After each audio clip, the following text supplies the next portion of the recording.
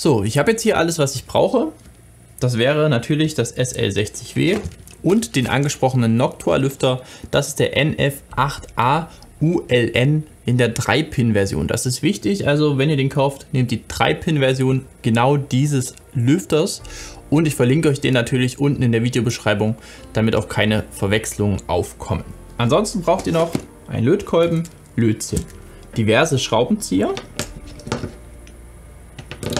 eine kleine Säge, ein bisschen Isolierband oder Schrumpfschlauch oder beides, einen Seitenschneider, eine Schere und gegebenenfalls ein Messer. So, und dann würde ich sagen, legen wir mal los. Erstmal natürlich diese Transportsicherung hier, mit der das SL60W ausgeliefert wird, demontieren. Dann habt ihr vorne gleich, was euch entgegenkommt, drei Schrauben. Die entfernen wir jetzt mal. Und dann kommt uns der erste Teil dieses Rings entgegen.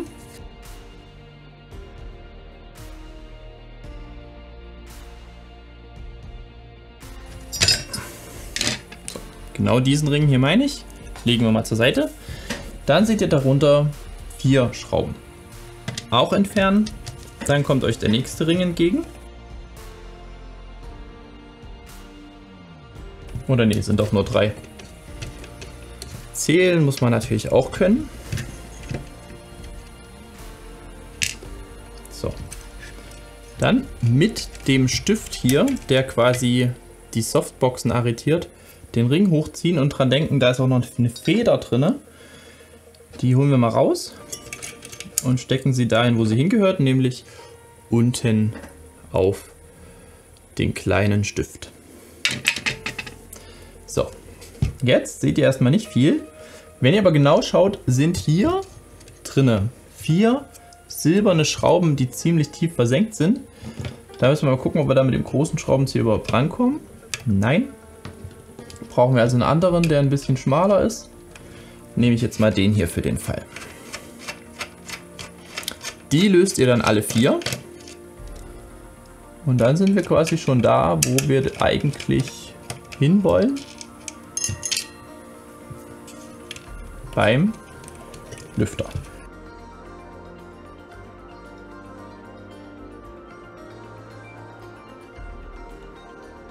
Dann können wir die gesamte Lüfter- und LED-Einheit wegklappen.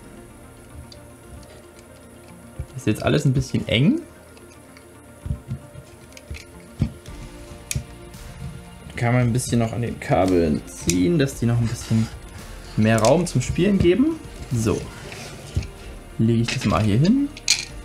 Die zwei Schrauben, die tue ich mal raus, damit wir die nicht verlieren. Okay. So, jetzt seht ihr hier den Lüfter und ihr seht auch die vier Schrauben, mit denen der montiert ist. Die entferne ich jetzt mal fix. Die brauchen wir aber, um den neuen Lüfter dann wieder zu montieren.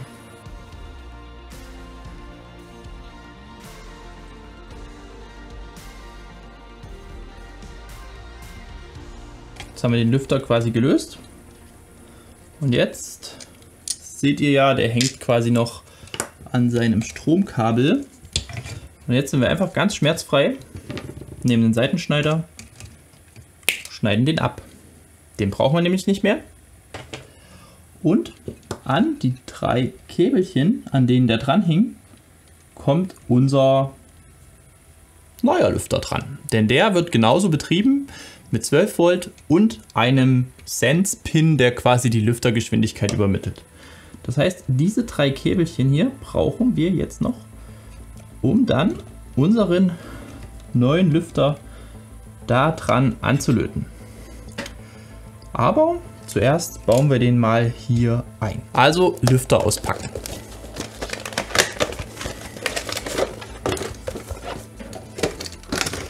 So sieht das Ding aus, wird mit ziemlich viel Zubehör geliefert. Wir brauchen davon im Endeffekt den Lüfter selbst und dieses Verlängerungskabel, weil wir das opfern werden. Ihr könntet natürlich auch den Lüfter hier vorne abschneiden und die Kabel direkt an die drei Enden des alten Lüfters anlöten. Ich mache es aber so, dass ich dazwischen noch einen Stecker löte, damit das Ganze flexibel und variabel bleibt. Aber zuerst bauen wir den Lüfter in das Gehäuse des Godox SL60W ein. Dafür entferne ich hier oben mal diese drei kleinen Gummipuffer. Die unteren können bleiben. Dann setzen wir den Lüfter quasi so ein, wie er sein soll. Und dann sieht man hier was. Nicht besonders gut, aber an der oberen Ecke, da ist so eine Aussparung. Diese Aussparung bedeutet, dass dort ein Schraubenkopf ist. Da der alte Lüfter auf der Oberseite rund war, ist er damit nicht kollidiert. Dieser Lüfter hier würde an dieser Ecke mit diesem Schraubenkopf, der hier rauskommt, kollidieren. Deshalb, also die Ecke, an der das Kabel ist, muss irgendwie abgeschnitten werden. Und ich mache das einfach mit einer kleinen Holzsäge. Mache ich jetzt direkt mal kurz hier auf den Tisch. Braucht nicht viel absägen, nur so die Ecke des oberen Loches. Passt auf, dass ihr nicht ins Kabel sägt. Geht auch schön fix und unkompliziert. Und das war es quasi schon. Das reicht, um diesem Problem aus dem Weg zu gehen. Da der Lüfter dann eben nicht mehr mit diesem Schraubenloch dort kollidiert. Was wir dann machen, wir setzen die Schrauben, die wir aus dem alten Lüfter rausgeholt haben, in den neuen Lüfter ein, aber unten. Und dann brauchen wir einen Schraubenzieher, der einen etwas längeren Schaft hat, um durch die Löcher oben hindurch die Schrauben zu verschrauben. Dann schieben wir den hier rein, gucken, dass alles gut sitzt. So was meine ich, Schraubenzieher mit etwas längerem Schaft. Und dann versuchen wir den neuen Lüfter mit dem Gehäuse zu verschrauben. Das sollte alles ziemlich einfach und problemlos gehen. Ich habe das jetzt mittlerweile schon dreimal gemacht.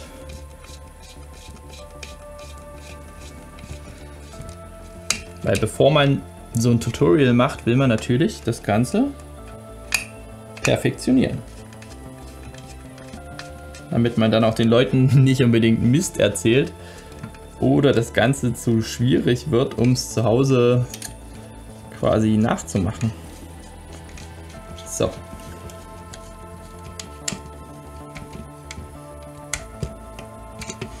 Alle vier Schrauben angezogen, das Ganze sitzt wieder, das Stromkabel kommt hier raus, wo das alte auch rauskam. Der Lüftertausch ist damit quasi soweit abgeschlossen und wir brauchen jetzt nur noch diesen kleinen Kabeladapter, quasi das, dieses Ende des Verlängerungsstücks nehme ich dafür jetzt mal. Ja, ziehe da mal ein bisschen das Kabel ab, nehme meinen Seitenschneider und schneide das einfach ab. So. Dann jeweils alle Kabel abisolieren und verdrehen. Ich würde es nicht allzu weit abisolieren, da gehen jetzt keine riesigen Ströme durch, es gibt keine Probleme. Da reichen so 5 mm abisolieren locker.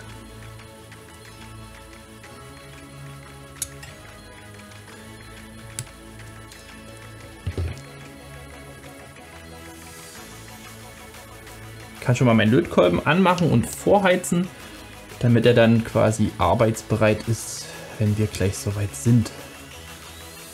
So. Schön verdrehen.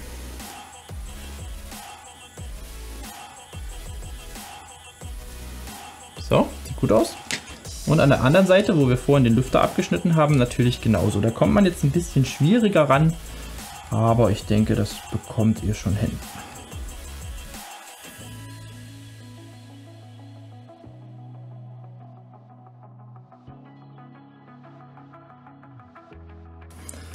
Alle Enden entzinnt.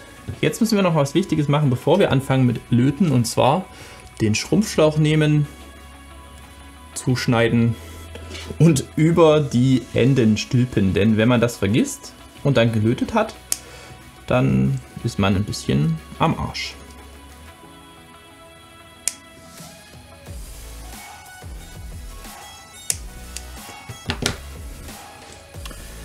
Ganze schieben wir jetzt quasi über die Enden der abisolierten Kabel drüber, damit wir es dann nachher über die Kabel, über die, äh, über die Lötstellen schieben können und dann zusammenschrumpfen können.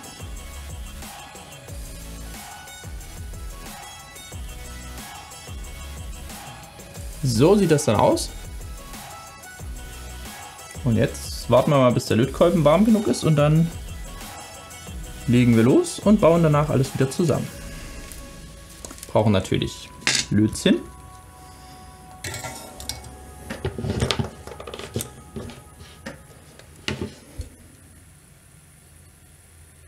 Ja, braucht noch ein bisschen.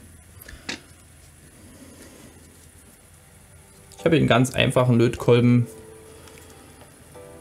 Was hat der? 58 Watt von Chilitech. Also wahrlich nichts unbedingt Hochwertiges. So, schauen wir mal, ob es jetzt besser aussieht. Und ich versuche schon mal hier das, die erste, das erste Kabelende einzuzinnen. Ja, jetzt wird's.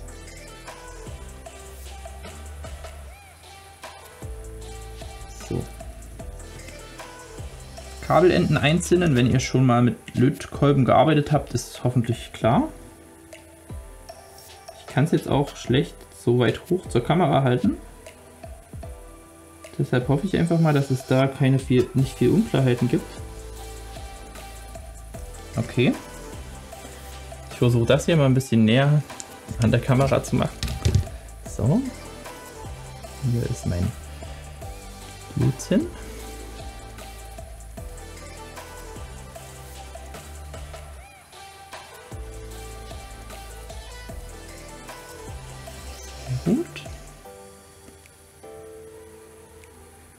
Übrigens, die Kabel haben ja unterschiedliche Farben.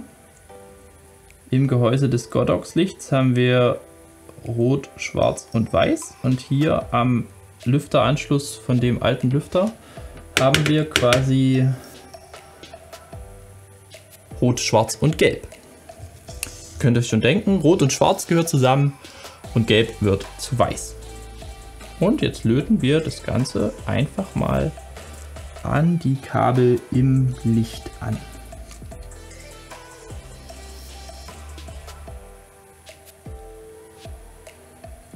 Aneinander halten, warm machen und los geht's.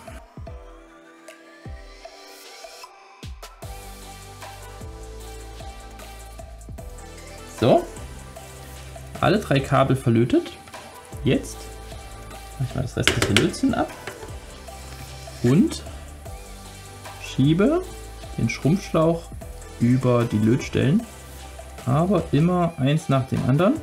Und dann erhitze ich den Schrumpfschlauch mit meinem Schaft vom Lötkolben. Der ist nämlich auch ganz schön heiß. Und dann schrumpft sich der Schrumpfschlauch so nach und nach zusammen.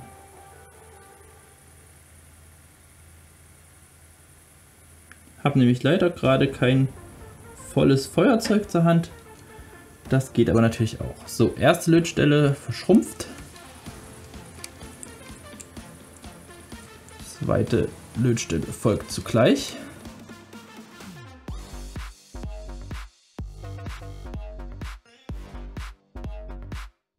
Wenn man das mit einem Lötkolben macht, muss man es ein bisschen länger machen. Mit dem Feuerzeug würde das natürlich ratzfatz gehen. So, jetzt noch die letzte Lötstelle. Schrumpfschlauch drüber.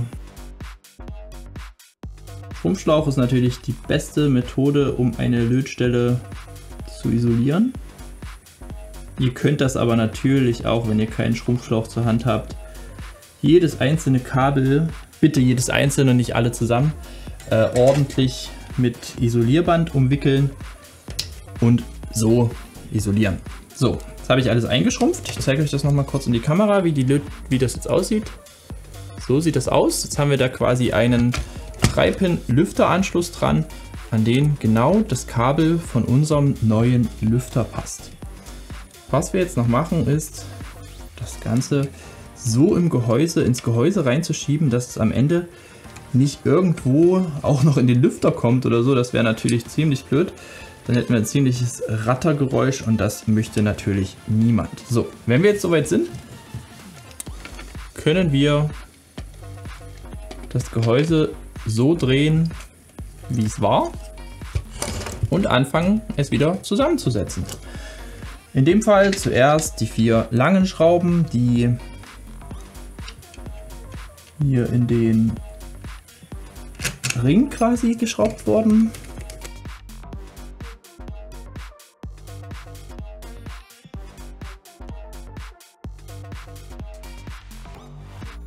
Weiter geht's. Zuerst setzen wir den Arretierungshebel ein mit Feder. Dann kommt der Ring drauf. Der hat ein extra Loch. Das kommt auf diesen kleinen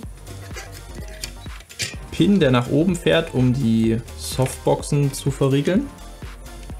Na,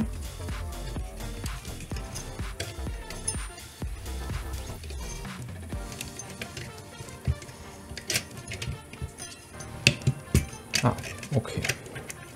Hat noch ein bisschen geklemmt. Dann schrauben wir den mit den drei schwarzen Schrauben fest.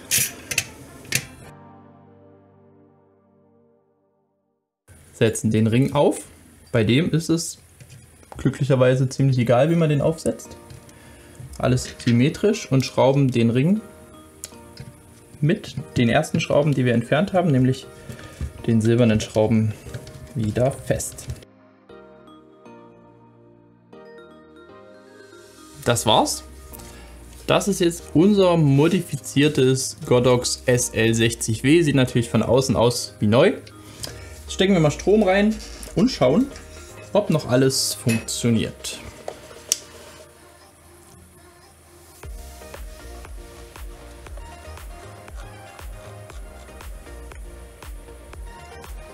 Ist natürlich jetzt deutlich, deutlich, deutlich leiser. Lauter wird es nicht. Das ist 100% Helligkeit und lauter wird das Licht nicht. Es wird ein bisschen wärmer, ja. Bei 100% Helligkeit wird es so circa hm, 5 bis 8 Grad wärmer als das unmodifizierte Licht. Ist aber alles noch in einem vertretbaren Rahmen, wird nicht mal 60 Grad warm, die LED. Und ich denke, für den Vorteil der Lautstärke-Minimierung ist das wirklich eine richtig, richtig, richtig feine Sache. Natürlich, der ganze Umbau auf eigene Gefahr. Keine Garantie, dass es ordentlich funktioniert. Die Garantie des Lichtes erlischt dann natürlich leider auch. Aber dem sollte man sich bewusst sein, wenn man so eine Modifikation an seinen Geräten vornimmt. Wenn euch die Lautstärke nichts ausmacht, dann lasst es halt unmodifiziert. Versucht das Licht so weit wie möglich weg von Mikrofon aufzustellen. Verwendet sehr stark gerichtete Mikrofone wie eben Shotgun-Mikrofone. Versucht, wenn ihr ein Lavalier-Mikrofon mit kugelförmiger Charakteristik verwendet, dass eben das Licht schön weit weg ist. Oder wenn das was für euer handwerkliches Geschick ist, modifiziert das, dann ist es quasi so leise, dass es auch direkt neben einer Person stehen kann, ohne Probleme. So, das war's. Wie gesagt, Links zu dem Licht unten in der Videobeschreibung, Links zu allem, was ihr dazu braucht, natürlich auch. Ich hoffe, das Video hat euch gefallen. Wenn's, wenn ja, lasst uns ein Like und euer Abo da. Wenn nicht, schreibt uns in den Kommentaren, woran es gelegen hat. Dort könnt ihr natürlich auch gerne eure Fragen zum Umbau posten. Ansonsten sage ich, ciao, bis zum nächsten Mal.